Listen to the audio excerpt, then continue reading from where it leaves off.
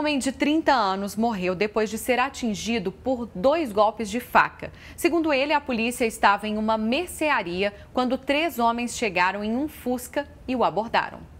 Bruno deu entrada no pronto-socorro depois de ter levado dois golpes de faca nesta rua do bairro Sion, em Varginha. O suspeito de cometer o crime é Diego da Silva Garcia, de 19 anos. Ele teria contado com a ajuda de dois comparsas, um de 36 e outro de 22 anos. Todos foram presos pouco tempo depois. Bruno tinha saído da casa dele, que fica a três ruas acima desta onde nós estamos aqui no bairro Sion, e vindo até esta mercearia aqui. Lá dentro, segundo testemunhas, ele teria tomado uma dose de cachaça e depois sentado aqui, ó, na beira da calçada.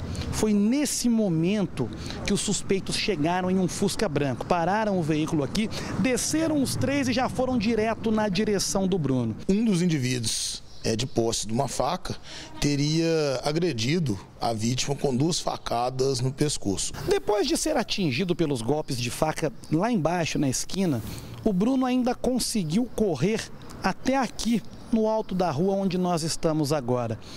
Já sem forças, ele acabou caindo exatamente aqui. Quando a polícia chegou, ele ainda estava consciente e conseguiu dizer aos policiais apenas que o suspeito era um tal de Diego, morador do bairro Novo Tempo. Conseguimos localizar ele escondido dentro da mata, bem como a faca que foi utilizada para a agressão. Os três envolvidos no crime já têm diversas passagens pela polícia, sendo que Diego é considerado no meio policial uma pessoa perigosa.